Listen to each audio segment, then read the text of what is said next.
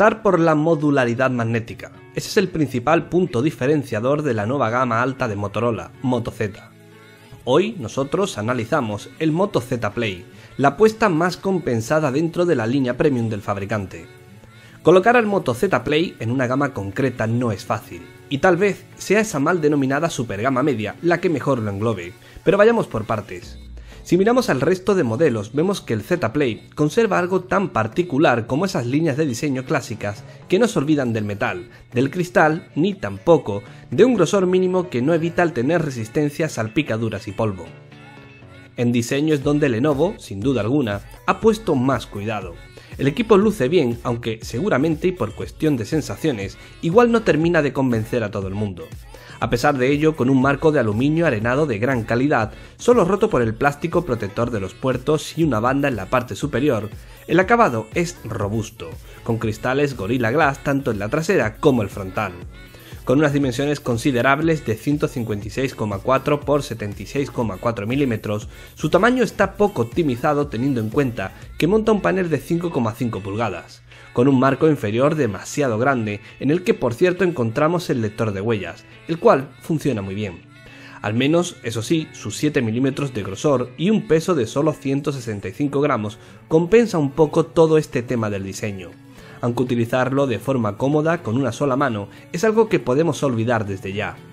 A nivel de especificaciones, este Moto Z Play cuenta con un panel Full HD de 5,5 pulgadas, Snapdragon 625, GPU Adreno 506, 3 GB de memoria RAM, 32 GB de almacenamiento ampliables vía microSD y la conectividad clásica como LTE, Wi-Fi 11N, AGPS, GLONASS, Bluetooth 4.0 de bajo consumo, NFC y USB tipo C, aunque en este caso hace uso del estándar USB 2.0 para la transferencia de datos.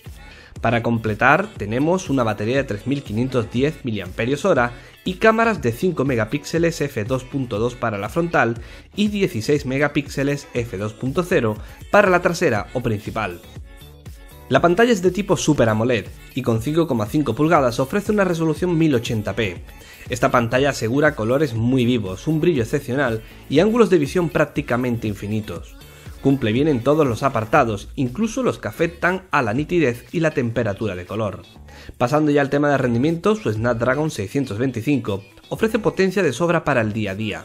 Como ya hemos visto en más de una ocasión, las diferencias con chip más potentes son cosas que no todos los usuarios apreciarán en su uso cotidiano.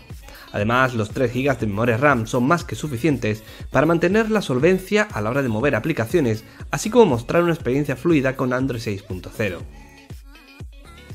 Ya en el apartado de sonido tenemos que el volumen del altavoz principal es excelente.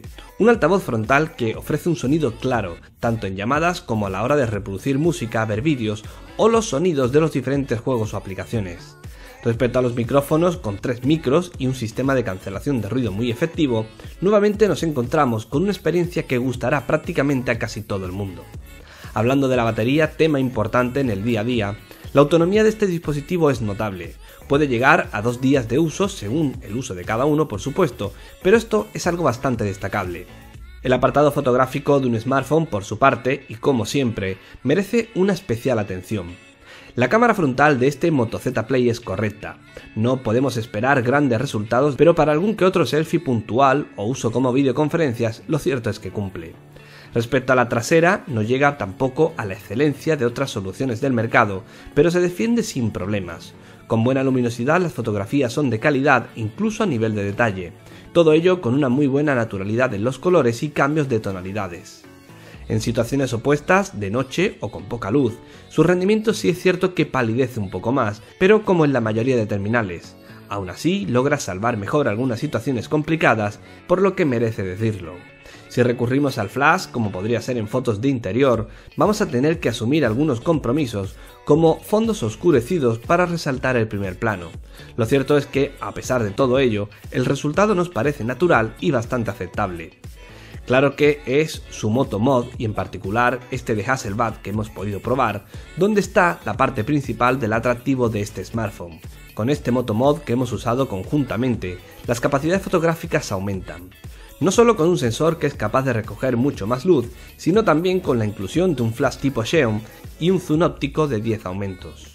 lo que permite que las fotografías mejoren, aunque a veces también tenemos que decir que algunas muestras chocan con la calidad que se le presupone al accesorio respecto a la cámara principal de este Moto Z Play. Por tanto, aunque resulta interesante, la principal cuestión que muchos se harán es si merece pagar los 249 euros que cuesta este Motomod. Y es que, a pesar de esa mejoría que ya hemos comentado, si vemos lo que abulta y cómo cambia la experiencia a la hora de usar el smartphone, puede que no a todos les compense su adquisición, lo que no significa que el tema de los Motomod en general sea un error, solo que no siempre su utilidad es interesante para la gran mayoría de usuarios. Para finalizar tenemos Moto UI, la interfaz de usuario usada por Lenovo. Esta es, o mejor dicho, respeta al máximo la experiencia de Android puro de Google. Tanto la interfaz como transiciones y resto de elementos respetan muy bien a Android 6.0, siendo idéntica a la de terminales by Google. Si es verdad que hay algunos elementos, algunos toques muy de Motorola, como por ejemplo los gestos o algún que otro icono, pero lo cierto es que son los que menos. En resumen, el Moto Z Play nos deja un buen sabor de boca, está bien construido y los materiales son de calidad.